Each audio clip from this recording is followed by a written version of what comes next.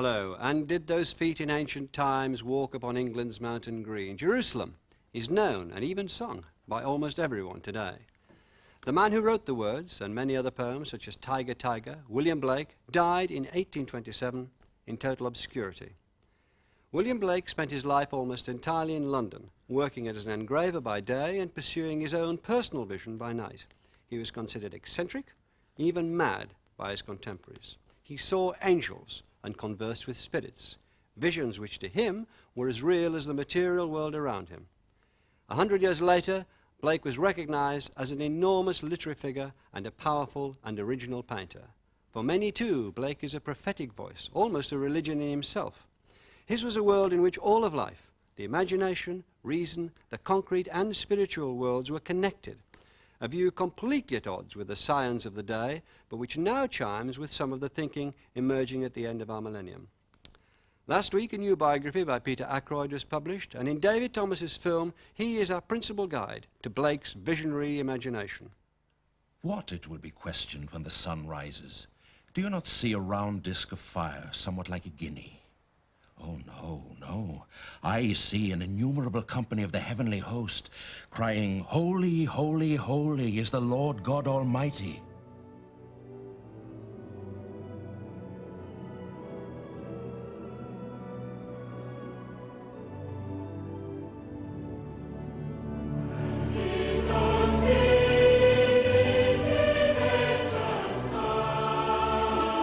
Jerusalem is one of the most complicated poems Blake ever wrote.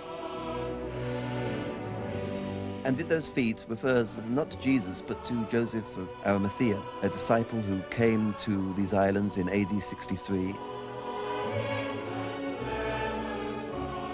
And according to legend, established the Christian faith here.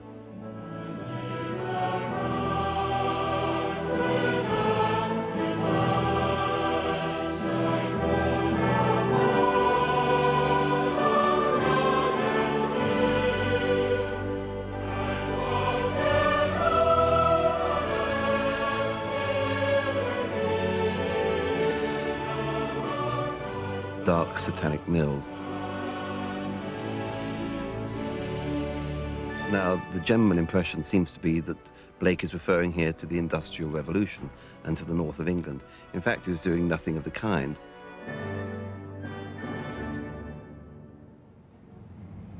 The mills for him was an abstract symbol of Newtonian mechanism and Newtonian materialism.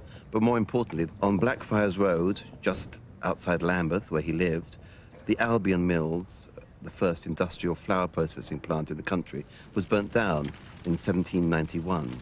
He would have passed the blackened ruin of the Albion Mills the whole time.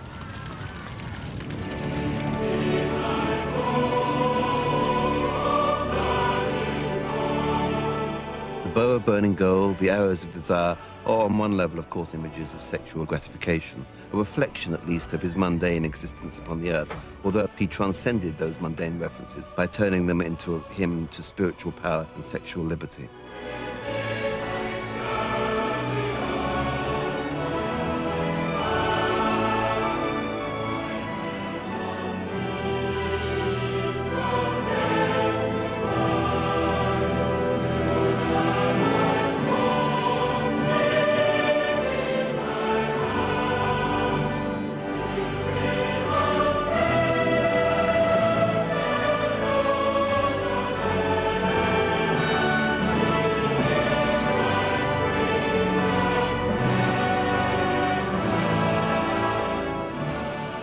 England's green and pleasant land, we can say Sussex.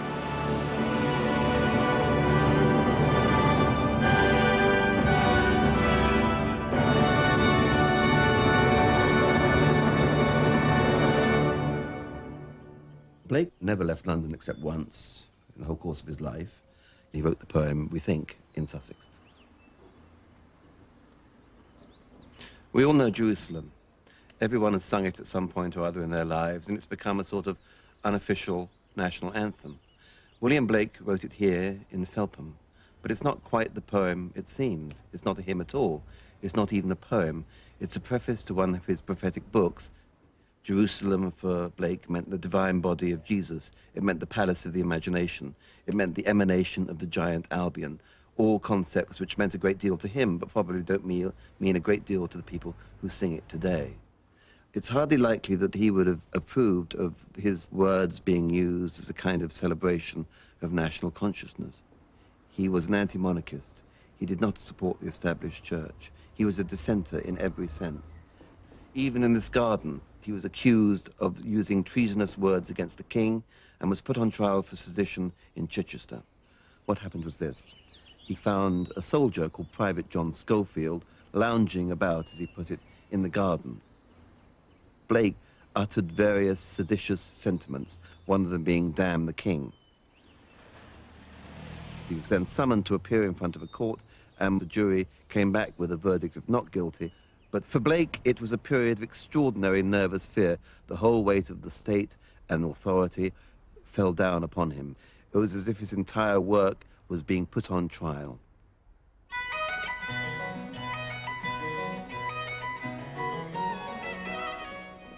Blake grew up into a city which was dark, violent, repressive.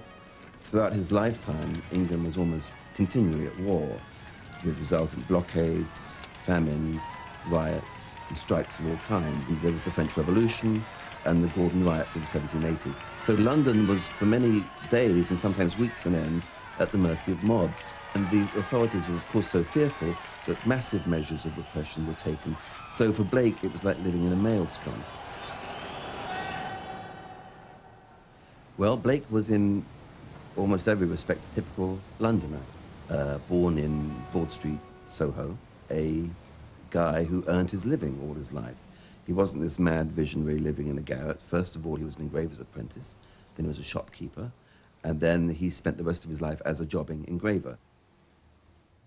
But you've got to think of this guy earning his living all the time and only able to work on his own time, in complete isolation. He was disparaged, he was neglected, he was ignored, he was ridiculed. His poetry wasn't read, his art wasn't taken seriously. But here we come to the essential genius of the man.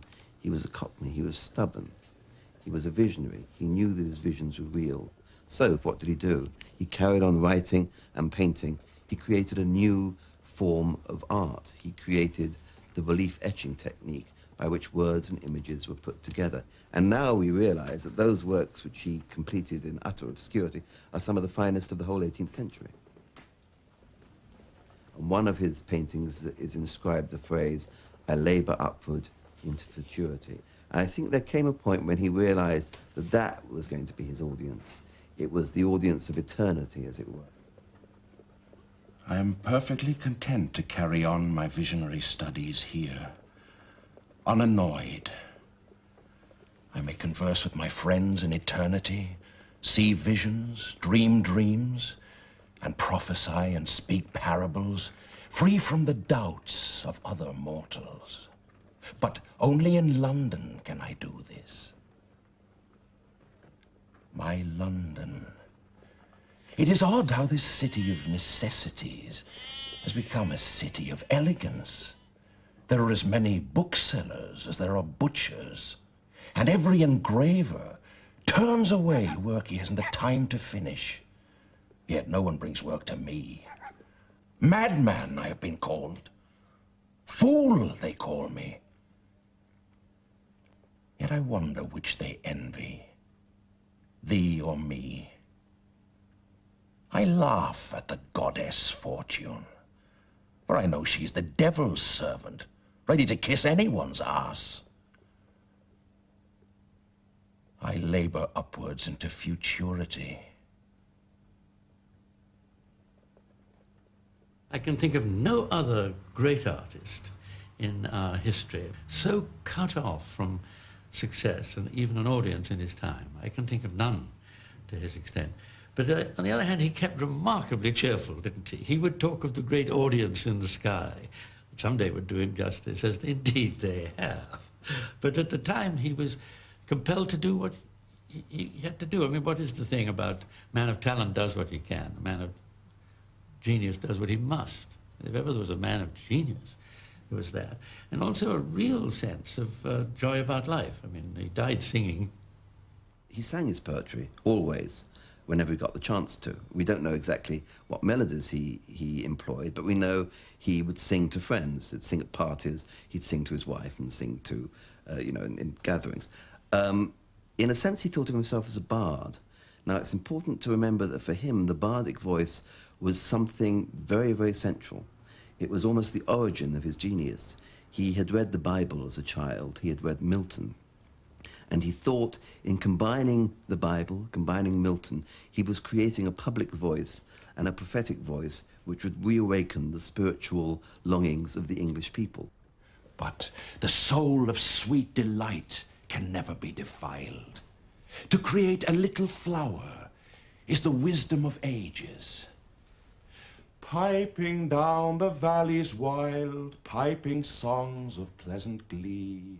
On a cloud I saw a child, and he smiling said to me, Piper, sit thee down and write in a book that all may read. So he vanished from my sight, and I plucked a hollow reed, and I made a rural pen, and I stained the water clear, and I wrote my happy songs every child may joy to hear.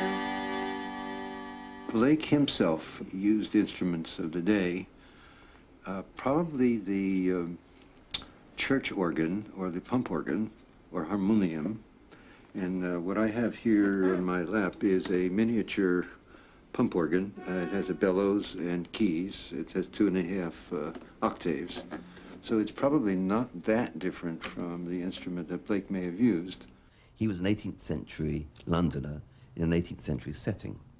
So, he, what was he listening to? Street ballads, popular songs, the Methodist hymns of the period, all the songs and airs in the air around him.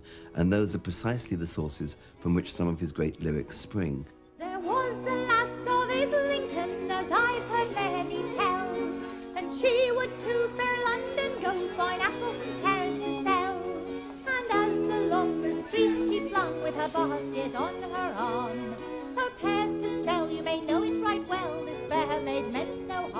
Blake was the greatest poet of London in the sense that its sounds and sights and images and words reverberate through his prophetic books as well as through his lyrics. But for him, London was not just the city of the poor and the repressed, as it was, but it was also the city he called infinite London, spiritual fourfold London. He saw eternity in the streets of London. For him, it was a visionary city as well as a real city, and he could understand the visionary truth of his own imagination even as he walked through the streets of London.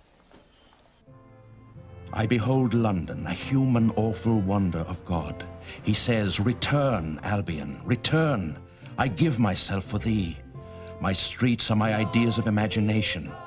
I write in South Molton Street what I both see and hear. I see thee, awful parent land, in light. Behold, I see.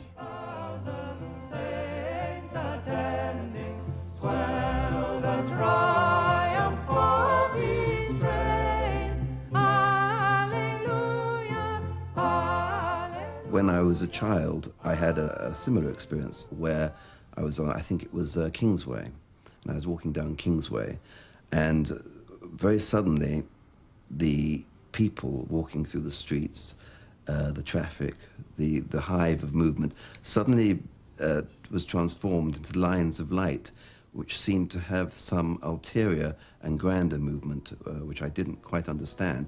But I, I, I was realized at that time that London itself could be seen as an organism. Uh, and Blake himself has, has the very same sense. So for him, London was a spiritual reality. It was part of the divine vision. The fields from Islington to Marylebone, to Primrose Hill and St. John's Wood were builded over with pillars of gold, and there Jerusalem's pillars stood.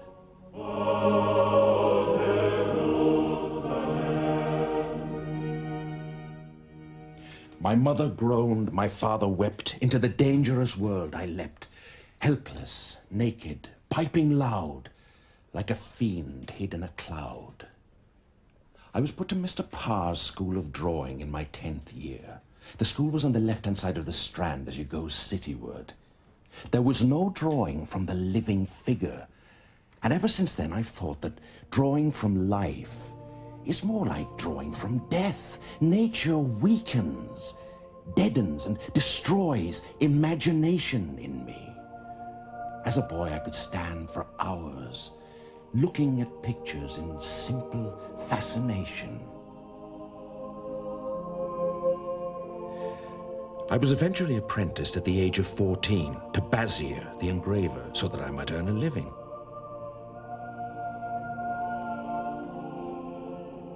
He sent me off to Westminster Abbey every day.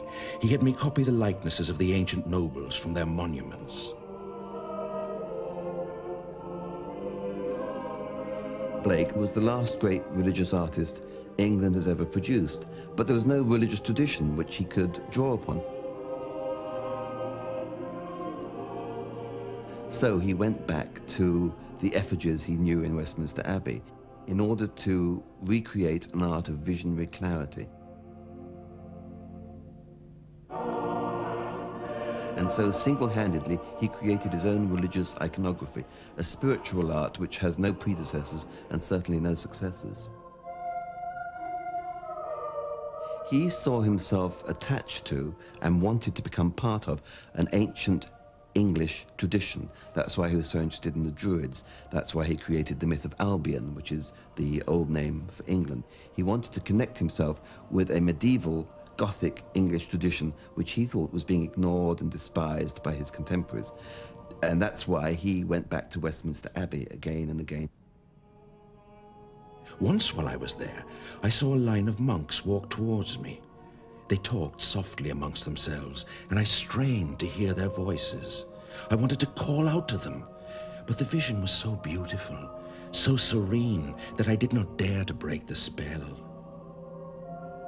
The point about Blake's visions is they were not some romantic epiphany or some occasional phenomenon.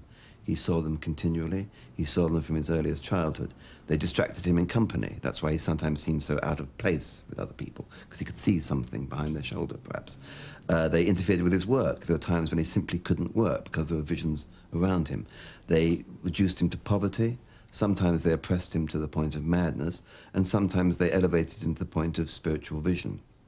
He started seeing them when he's very, very young. I think about the age of three or four, he saw God peeping from the window in Broad Street. It was at the age of four that God first showed me his face, when he put his head to the window and set me screaming. This was undoubtedly a cause for some concern to my honest parents, and I confess I'm eternally grateful to my father for not whipping me then, as he threatened to do and to my mother for the curious smile she lent to my defense. Because of this experience, and others like it, they were afraid to send me to school. And it was my mother who taught me to read and write. I taught myself Greek and Latin, and even now I'm learning Hebrew. The Testament is my chief master, for it is the true source of all knowledge. I thank God I never was sent to school to be flogged into following the style of a fool. Instead, I would set out on endless walks. I was a strange youth, no doubt. Once, in a field near Dulwich, there was a tree, amongst whose branches glistening angels clustered and sang. The angels looked to me like thoughts, bespangling every bough, like stars. But dearest to my heart was my brother Robert. Bob, when he was ill and the pain grew too much to bear, he would cry out, and I would lie down beside him and put my arms round him and hold him while he shook. Robert Blake was William Blake's younger brother. He, of all the Blake family, he was the one closest to William Blake himself, and the one William Blake shared in some part his genius. He said he saw Robert Blake in vision, So the spirit of Robert Blake remained with him for the rest of his life. In a sense, it was Blake's brother, Robert, who introduced Blake to the work of Emanuel Swedenborg, who was a visionary formulating a series of doctrines. The brother died very young, and Blake sat by his bedside for two weeks as he lay dying. And then at the moment of death, Blake saw the spirit of his dead brother rising to the ceiling, clapping his hands for joy, as he put it. One night, the room grew cold. Robert looked up over my shoulder and pointed to the window. I turned to look, and at that precise moment, I saw a star fall. And when I turned back to Robert, I saw his soul rising to God, clapping his hands for joy and singing in the spirit. Swedenborg talked about his visions quite openly. He was taken up to heaven and conversed with angels, for example. Now, that sense of life, that sense of visionary life, is of course something which appealed to Blake very deeply. Here, at last, was confirmation that someone other than himself conceived of visions in the same way as Blake did. Um, Swedenborgianism, of course, was only one of a number of uh, sects in the 1780s and um, 1790s. You see an extravagant uh, melange of political dissenters, uh, radicals, mesmerists, spiritualists, uh, sexual magicians, conjurers, and so forth. That's the community in which Blake really has his being, this working class artisan tradition of dissent, whether it's uh, political, spiritual, or religious. When he was uh, an apprentice engraver, uh, opposite him was the Freemasons' hall, then the Freemasons' tavern. So from a very early age, he was used to what you might call the occult or occluded side of spirituality. This was in Bloomsbury, in Great Queen Street. Now, Blake always had a very strong sense of place. There's no one who had quite as strong sense of place as he did. And he knew London to be a vision of eternity. The peculiar thing is that in the area he knew very well, which is the area of Bloomsbury, radical cults surfaced throughout the period of his own life. And the same area still houses other spiritual or radical sects. And we have the British Museum itself, of which one of its most famous librarians was an astrologist, Richard Garnett. We have the Theosophists, we have the Order of the Golden Dawn, we have the Astrological Bookshop and the Occult Bookshop, we have the Freemasons, we have the Swedenborgians still. And what was it about the, the Swedenborgian precepts which so attracted uh, a wide variety of London artisans and so forth? What, the, what was specifically different and unique about it? Well, it was sort of, as I understand it, a new understanding of what Christianity should really be about and a new understanding of what is in the Bible. And I think things that particularly appealed to many was the idea of the reality of the afterlife. I remember uh, uh, Blake, just before he joined the Swedenborgian uh, church, had had a vision of his brother Robert on his deathbed. Yes. Uh, can you explain about that process of the, the spiritual, the physical form being reassumed? Well, Swedenborg says this world is just a preparation for our future life to eternity, and that there is another world. It's not in time and space, but it is around us all the time, and the spirits are around us, but we don't see them in our earth with our earthly eyes. But when we die, people are uh, go to this other world where they live a life very similar to this one, and um, They assume Depending- sort of human form. don't they? exactly yes. Yeah, yeah. And if they are happy together, they live together, even as husband and wife, which again was a very appealing idea to some people. So rather like Blake and his wife. Yes. Uh, so when Catherine says, I speak, t- after his death, I speak to William hourly and daily in the spirit, you can think that might be literally true? Yes, that's what she understood. And you think there's nothing absurd about that? I mean, Not at all. I've been married for 45 years to my dear Catherine. Kate. She is a remarkable woman, and she has never complained in all these years. Kate knows that I'm commanded by the spirits to write and to paint. So when the cupboard is bare, she simply lays an empty plate on the table to remind me that we must eat. Kate. The point about Catherine, I think that without her presence in his life, he probably would never have been able to create. She cooked his food, she made his clothes, she coped with their poverty, but more importantly, she shared his visions. Throughout his life, Blake emphasized what he called sexual energy. Energy is eternal delight, he used to say. Uh, even at the end of his life, he was talking about the importance of polygamy and promiscuity as emblems of the human condition. There's that marvelous line in his poetry about what a man and woman does desire are the lineaments of gratified desire. Now, as far as one can tell, that was a theoretical statement on his part. There's no evidence that he was ever unfaithful to Catherine. But it's very important to realize that part of his visionary uh, and spiritual capacity and understanding was this celebration of sexual license, celebration of energy, celebration of desire. He said, sooner murder an infant in a cradle than nurse unacted desires. And he joined the Swedenborgian New Church in 1789, above the portal of the chapel were the words, Now it is allowable. Because as far as he was concerned, the enemy was the established church. I went to the garden of love and saw what I never had seen. A chapel was built in the midst, where I used to play on the green. And the gates of this chapel were shut and thou shalt not writ over the door. So I turned to the garden of love that so many sweet flowers bore, and I saw it was filled with graves and tombstones where flowers should be, and priests in black gowns were walking their rounds and binding with briars my joys and desires. Love there is a smile of love, and there is a smile of deceit, and there is a smile of smiles in which these two smiles meet. He would say no word is an accident. It has to be right. What are the priests in black gowns are making their rounds and binding with briars my joys and desires.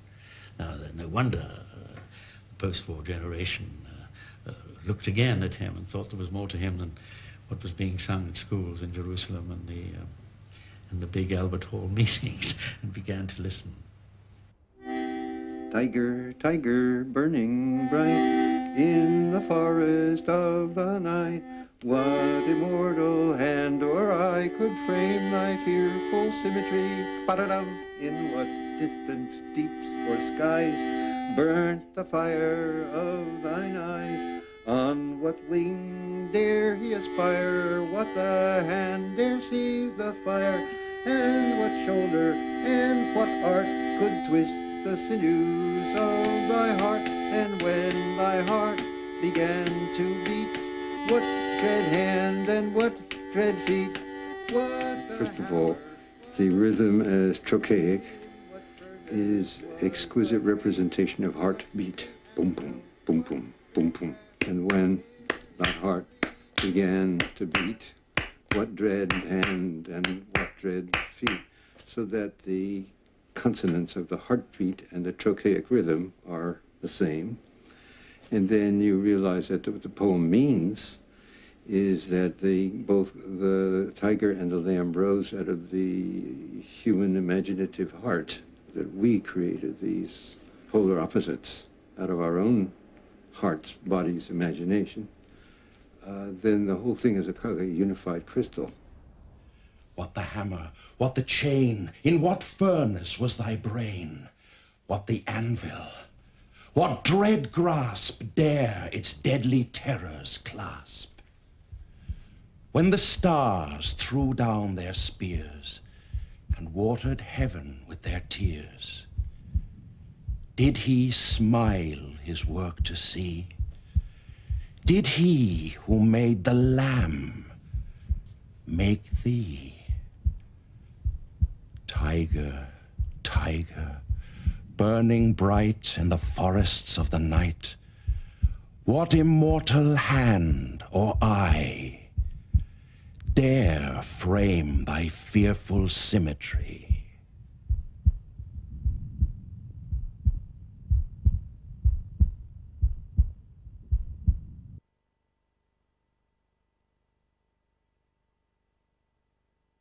When Blake exhibited his, his paintings, of course, they were ridiculed as being offensive, muddy, uninteresting, too primitive. It was considered the work of a madman or of a fool who was getting too big for his boots. Portrait painting. I'll be damned if we stoop to portrait painting. We'll start with the line, the outline, the bounding line. The great and golden rule of art, as well as of life, is this. The more distinct, sharp, and wiry the bounding line, the more perfect the work of art. Great inventors in all ages knew this, and they know each other by this line. Raphael and Michelangelo and Albert Dürer are known by this, and by this alone. Leave out this line, and you leave out life itself, for all is chaos again. Blake's art, on one level, is an art of outline, it's an art of pure form. That's because, like Dürer, Dürer said, uh, My figures come from within, by which he meant he painted from his imagination. He didn't paint or reproduce the natural world. That was exactly Blake's own sense of his art. That's why I love medieval art in general. He wanted an art which was almost monumental, stark, heroic. He wanted an art which was both grand, but also very clear. He wanted an art which suggested the spiritual outline of the human form rather than the visible outline of the human form. As a result, he hated what he called the blots and blurs of oil painting. He loathed uh, the prettifying tendencies of a, a, Gainsborough, for example. So, what did he see around him when he uh, began his career as a painter? He saw the salon art of the fashionable figurative painters of the period, whether Reynolds or Gainsborough. He saw the art which was admired by the Royal Academy. What the hell do you want? Sir Joshua Reynolds, the eminent dwarf of the art world, who founded the Royal Academy so that none but fools should be in the arts. You say there is obviously very little art in this old fool. I need to take classes. I should study. Study. If art could be learned, Sir Josh, as you propose, we should have a hundred Raphaels and Michelangelos to succeed and then improve upon each other. But it isn't so, you delirious dilettante. Keep away from my canvas. The question in England, thanks to you, is not whether a man has talent and genius, but whether he is passive and polite, a virtuous ass, obedient to the opinions of noblemen. Though a man can never become a horse or an ass, Sir Josh, some are born with the shapes of men who are both. You and your cohort Gainsborough, blot and blur one against the other, till you've divided the whole English world between you with your damn portrait painting, and I am hid. Some look to see the sweet outlines and beauteous forms that love does wear. Some seek to find out patches, paint, bracelets, and stays, and powdered hair. Now get out of here, you, you blue boy! You and your gang of cunning hired knaves! Blake would sometimes talk about uh, his conversations with other artists. He didn't only have this gift, um, he elaborated upon it. He used it as the center of his work. He painted the ghost of a flea, for example. He painted various visionary heads, which he summoned up. So these spirits were as real to him as the people he saw walking around him. And it was so matter of fact that he would talk about them to friends and say, oh, there's so-and-so, I'm talking to so-and-so. They were like the inhabitants of his world. There was, they were comrades, they were collaborators, they were colleagues like Michelangelo. Aye, who can paint an angel? Michelangelo could. How do you know? I know, for I sat for him. I am the Archangel Gabriel. Oh, you are, are you? I must have better assurance than that of a wandering voice. You may be an evil spirit. There are such in the land. You shall have good assurance. Can an evil spirit do this? I looked whence the voice came, and was then aware of a shining shape, with bright wings, who diffused much light. As I looked, the shape dilated more and more. He waved his hands. The roof of my study opened. He ascended into heaven. He stood in the sun, and beckoning to me, moved the universe.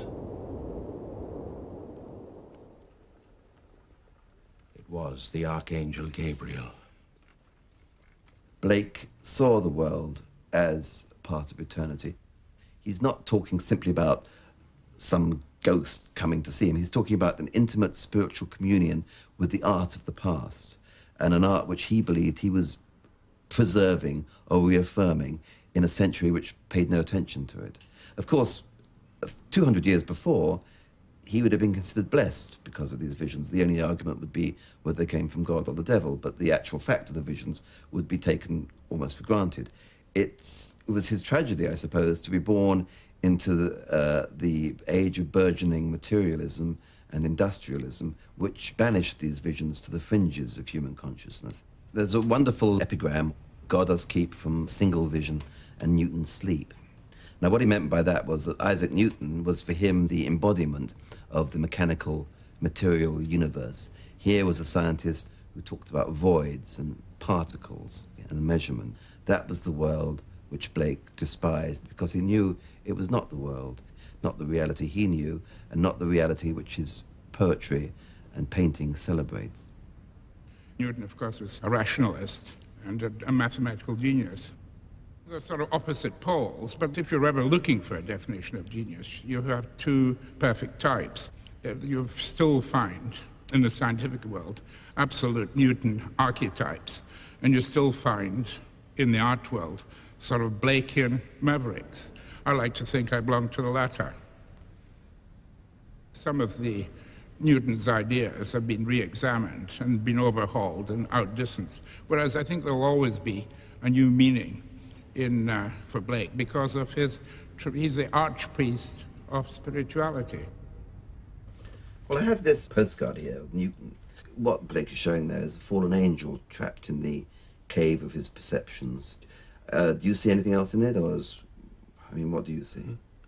Well, I think the, the idea of a fallen angel is a very good one because angels are beings of light before they fall, and there's something still divine in the form of Newton. But what he's doing is drawing these abstractions, these lines on paper, a two-dimensional geometrical model in a world full of color and quality and movement and form. And in that sense, I think Blake pictures it very well. I mean, there is something noble about Newton and inspiring. That the whole of the 18th century rationalist movement, the so-called Enlightenment, was based on this idea of Newtonian reason as the ultimate. But mm. what's wrong with it is that it's a limited form of reason, a limited vision of things. And in this picture, you can see there's so much else in the world. And interestingly enough, what Newton left out in his abstract geometries is something that modern science is now beginning to bring back in through chaos and fractals, the new kind of um, mathematical imagery we have, has left Newtonian abstractions far behind, even within orthodox science. And you're not surprised that someone like Blake would have reacted against this ferociously, calling it the tree of death and so forth. I mean, it must have struck a, a sort of nightmare chord within him. It would indeed have been a nightmare. There was no spirit, there was no soul. Nature was dead and inanimate. There were no angels or consciousnesses in, uni- in the universe. Mm. Animals and plants were machines. And I think it's had a huge impact on our civilization. It's split the sciences from the arts, it's split science from religion, it's fragmented our whole culture. And I suppose Blake, in a sense, was remarkably prescient, wasn't he, in his attacks upon Newtonian science? For example, he denied causation. He said every natural effect has a spiritual cause, and he talked about when the organs of perception change, objects seem to change. That seems to strike a very modern chord, doesn't it?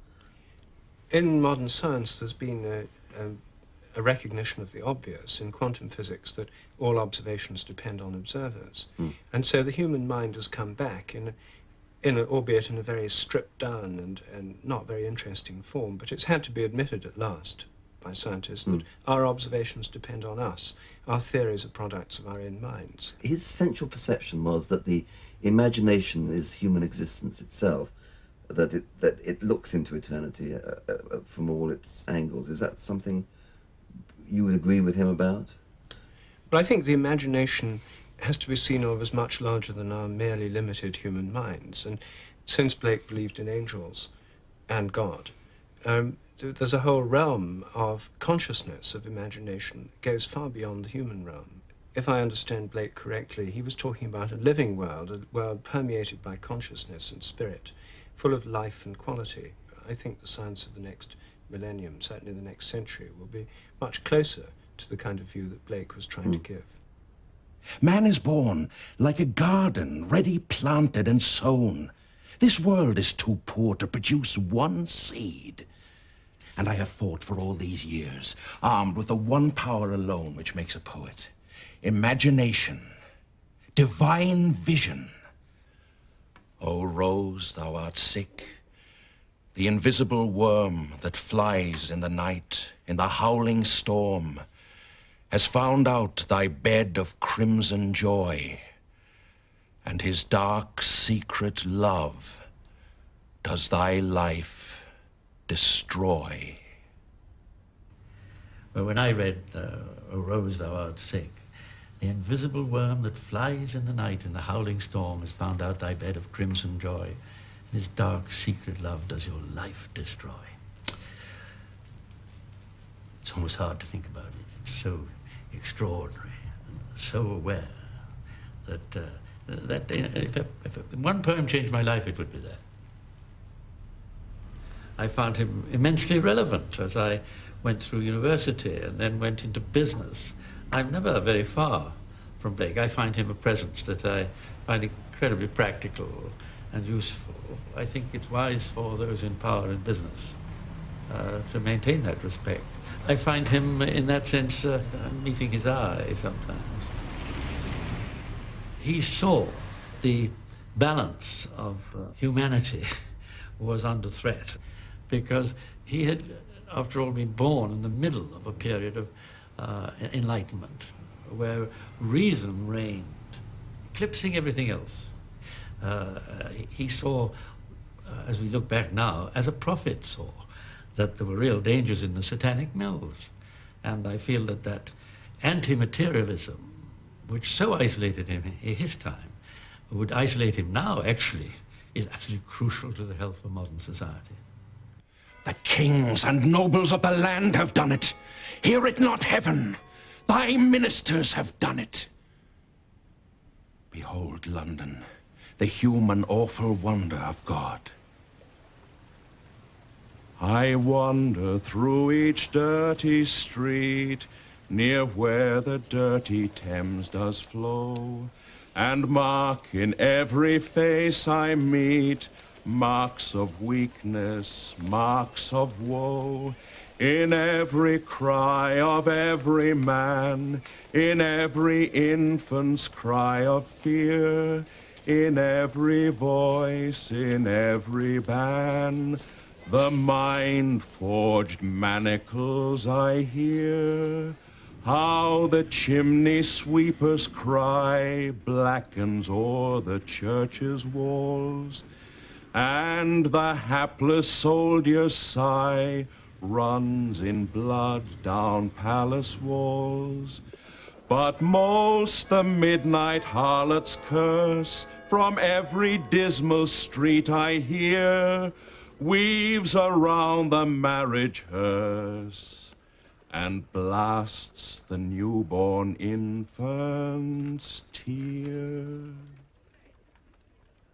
Blake saw very clearly what was happening to England and to London. He saw that it was being turned into mechanism, into reproductive imagery, uh, into salesmanship, into information rather than understanding into all the arts, which he called the arts of death, which the 19th and 20th centuries exploited to their utmost extent. The beggar's rags fluttering in air doth does to rags the heavens tear. Uh, one could sticks in your mind, and you wonder what it means really until you finally puzzle out in the 20th century that any nation that would allow many beggars in rags to be lying in doorsteps looking at heaven through their ragged sleeves would be the kind of desensitized society that would punch a hole in the ozone layer and tear the heavens to rags, literally. It's as if his fall from normal life had broken him open to all sorts of perceptions which seem to us very modern. For example, his belief that war and repressed sexuality were connected. His belief that animals should not be treated badly. And there's the poem about every cry from a hunted hare, a fibre from a brain does tear. There's the famous poem Little Black Boy, in which he uh, suggests or asserts that all human beings are part of a divine family and that there should be no, uh, to use a modern phrase, discrimination against various sorts of people. So, in all those respects, um, he was remarkably aligned to late 20th perceptions of human reality. He also, in a sense, created his own religion. And there are plenty of people who, even now, find in Blake solace, comfort, consolation, and more importantly, belief. He believed he might rebuild Jerusalem in London. And did those feet in ancient time walk upon England's mountains green? And was the holy Lamb of God on England's pleasant pastures seen? And did the countenance divine shine forth upon our clouded hills? And was Jerusalem builded here among these dark satanic mills? Bring me my bow of burning gold. Bring me my arrows of desire. Bring me my spear, O clouds unfold. Bring me my chariot of fire. I will not cease from mental fight, nor shall my sword sleep in my hand, till we have built Jerusalem in England's green and pleasant land.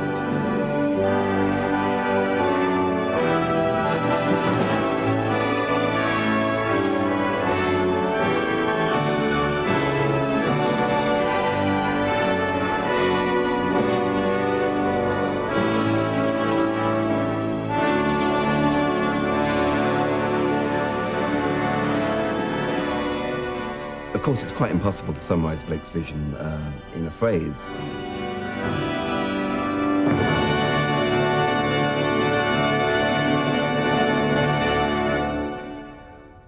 For him, it was a lifetime of learning, aspiring, trying to understand.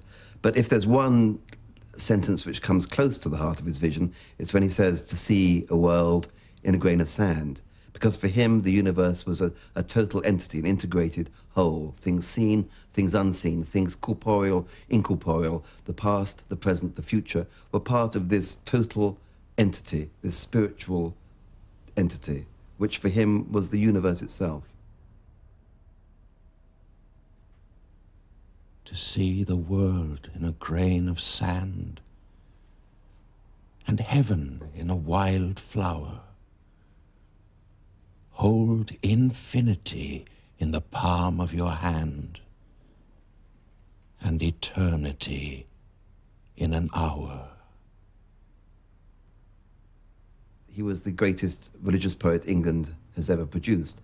Reality for him was the whole vision of eternity, which surrounded him night and day, as he talks about angels surrounding him night and day. And then in the end, he talks about how his works are being admired in the palaces of eternity, how the angels are celebrating his work. And that, again, is part of his sense of eternity being present to the wise continually. He says at one point, a fool sees not the same tree as a wise man sees. This, of course, goes back to his earlier visions in Peckham Rye, where he saw trees filled with angels. But it also emphasizes a more important truth that if you can divest yourself of material vision, as he says, everyone will see what I see. And what we come to understand at the end of our own present century is that his vision is so prescient, his, his poetry and painting so marvelous, that he's of the same stature as Milton, as Chaucer, as Shakespeare. Did I tell you I was Socrates, or a sort of brother? I must have had conversations with him. I also had conversations with Jesus Christ. I have an obscure recollection of being with both of them. I should be sorry if I had any earthly fame, for whatever natural glory a man has is so much detracted from his spiritual glory. I wish to do nothing for profit. I wish to live for art. I want nothing whatever. I am quite happy. Hear the voice of the bard, who present, past, and future sees, whose ears have heard the holy word that walked among the ancient trees. Recalling the lapsed soul, and weeping in the evening dew that might control the starry pole, and fallen, fallen light renew. O earth, O earth, return, arise from out the dewy grass. Night is worn, and the morn rises from the slumberous mass. Turn away no more. Why wilt thou turn away?